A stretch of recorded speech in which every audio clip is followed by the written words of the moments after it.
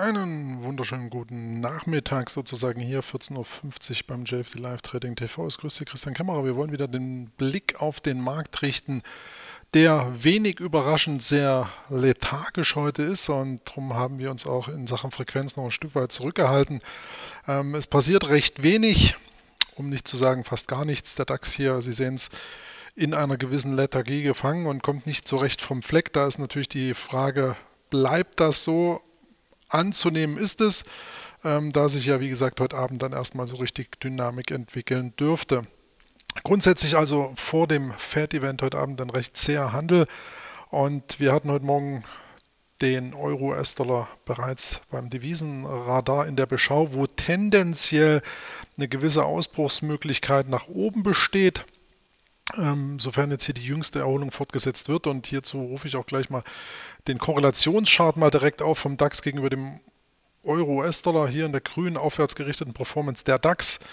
Ähm, exakt auf fünf Jahre zurückgerechnet hier Ausgangspunkt und hier unten haben wir den Euro-US-Dollar gleiches Spiel und Sie sehen, wie hier insbesondere seit 2012 der Markt hier ähm, so mehr oder weniger zunächst verhalten und dann immer deutlicher auseinanderdriftet, beziehungsweise die Märkte. Ähm, und man sieht hier sehr schön, dass hier eine negative Korrelation vorherrscht. Also bei dem Allzeithoch vom DAX handelt es sich relativ gesehen um genau den Zeitpunkt, als Euro-US-Dollar das markante Mehrjahrestief ausbildete. Und Sie sehen, vom Allzeithoch ausgehend läuft ja seither im DAX eine Korrektur und beim Euro-US-Dollar eine Erholung. Wenngleich diese hier noch relativ flach ausgeprägt ist. Das ist auch sehr schön zu sehen. Euro-US-Dollar hat hier auf jeden Fall noch viel Spielraum nach oben. Und der DAX natürlich dementsprechend auch nach unten. Die Frage ist eben, ob sich das hier annähert oder die Schere weiter ausdehnt. Letztlich kann für heute Abend gesagt werden, dass eben hier auch diese Korrelation wohl weitergehen dürfte. Soll heißen, wenn Euro-US-Dollar zulegt, dürfte der DAX Schrägstrich die Indizes verlieren.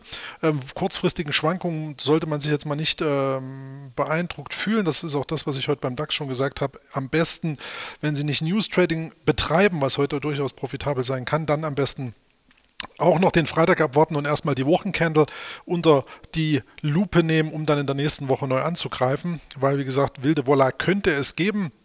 Im schlimmsten Falle passiert gar nichts, aber wie gesagt, das ist nicht auszuschließen, dass es wilde Woller gibt. Und dann muss man erstmal sehen, wie das Ganze aussieht, wenn sich der Staub dann gelegt hat. Beim DAX generell haben wir hier oben kurzfristig im Bereich der Round Number von 10.300 Punkten den Deckel drauf. Unten nach wie vor hier die Marke von 10.000, 10.030 Punkten hier als breite Unterstützungszone. Was hier natürlich im kurzfristigeren Bild schön zu sehen ist, dass wir da sozusagen hier im Intraday-Bereich, aber da wird der DAX wohl heute bis 20 Uhr sich nicht hinentwickeln, geschweige denn nach oben ausbrechen. Das heißt, es wird wohl hier der zähe äh, Fortlauf der aktuellen Situation so bleiben. Aber hier bei 10.100 Punkten haben wir sozusagen einen Intraday-Support aufgebaut, der hier in den Vortagen, Schrägstrich in der Vorwoche, hier auch immer wieder zu Käufen anregte. Also wenn es denn hier einen Spike gibt und heute Abend eine ähnliche Situation vorherrschen sollte wie hier eben in der Vergangenheit, dann könnte man davon ausgehen, dass der Markt sich dann hier im Bereich 10.100 Punkten fängt kurzfristig. Das große Bild wollen wir uns nämlich jetzt hier auch nochmal anschauen. Wie gesagt, hier in der Spanne, das wissen Sie, haben wir schon seit einigen Tagen auch hier im Gebälk, äh, diese gelbe Range 10.370 oben, 10.030 Punkten unten, 10.000 Punkte Marke sowieso.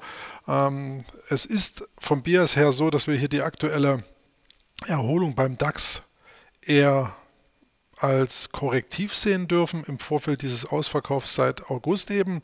Und insofern gerade vor dem Hintergrund, das hatten wir heute beim ähm, Devisenradar ja auch, dass die Saisonalität unmittelbar beim Euro-US-Dollar für steigende Preise spricht und hier interessanterweise im Sinne der Korrelation beim DAX unmittelbar verfallende Preise, ähm, könnte sich eine negative Auflösung vor dem saisonalen Hintergrund eben hier ähm, sehr gut darstellen. Und mir scheint es, als wäre der DAX eben noch nicht fertig. Die Notenbanken könnten hier natürlich dann immer wieder ähm, ins andere Rohr blasen. Das könnte heute durchaus passieren. Wäre eben dann der Fall, wenn der DAX deutlich über 10.370 Punkten ausbrechen würde.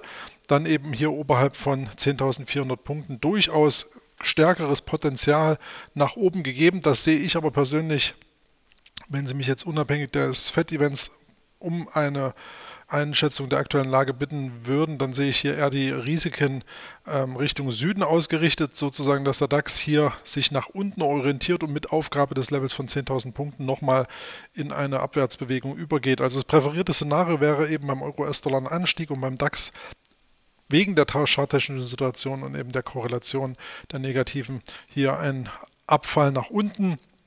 Aber ein klareres Signal würde sich eben erst unterhalb von 10.000 Punkten ergeben.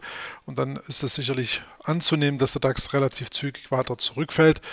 Hingegen eben bei einem Ausbruch nach oben sich die Situation weiter verbessern dürfte. Aber man darf natürlich nicht vergessen, der DAX hat hier aufgrund des starken Abverkaufs auch durchaus noch korrektives Erholungspotenzial. Und selbst im Bereich von 10.700, dann wären wir hier beim 61er Fibonacci-Level und hier diese Unterstützung vom Juli, der früheren Unterstützung das Niveau darf jetzt hier als Widerstand angesehen werden. Also für den Fall einer Aufwärtsbewegung, eines Ausbruchs nach oben, halten Sie mal das Level hier von 10.700 Punkten im Auge. Das könnte hier, sollte hier interessant werden, wenn es einen Ausbruch nach oben gibt, ob wir da hier deutlich rausziehen können. Aber letztlich ist es sehr, sehr abhängig von dem, wie der Markt heute die oder die eine oder andere Entscheidung letztlich aufnimmt. Mir scheint es aber so von den Strukturen, dass der DAX eher abwärts gerichtet sich orientieren dürfte. Aber Obacht geben, Spread-Ausdehnung, wilde Volatilität ist wie gesagt durchaus denkbar und insofern haben wir uns ja heute schon in Sachen Postings ein Stück weit zurückgehalten. Ähm, ist es durchaus geziemt, hier das Ganze mit Abstand zu betrachten und sich dann in der kommenden Woche, ich denke, da geben sich, ergeben sich klarere Signale, man will es zumindest erhoffen, für den Markt, die dann auch hier, sage ich mal, seriösere Annahmen, Prognosen zulassen, als man es jetzt machen kann.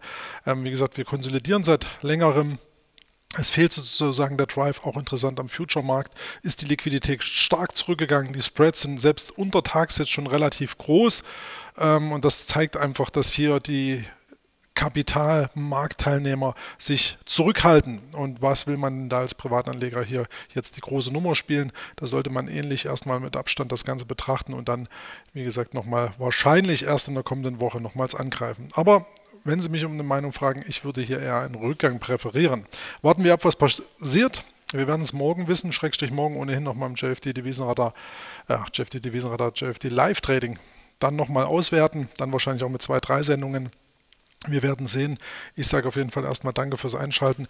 Wünsche Ihnen jetzt noch einen relativ ruhigen Resthandelstag. Wie gesagt, es ist fast nicht anzunehmen, dass heute hier noch groß was passiert, wenngleich wir natürlich hier am Nachmittag ähm, den Philly Fed Index noch haben und jetzt 14.30 Uhr auch die fortgesetzten Anträge auf Arbeitslosenhilfe, aber das ist alles ein Stück weit untergewichtet zu dem, was eben heute Abend ansteht und da wird es dann eben richtig spannend werden und da warten wir mal ab, was denn da so kommt.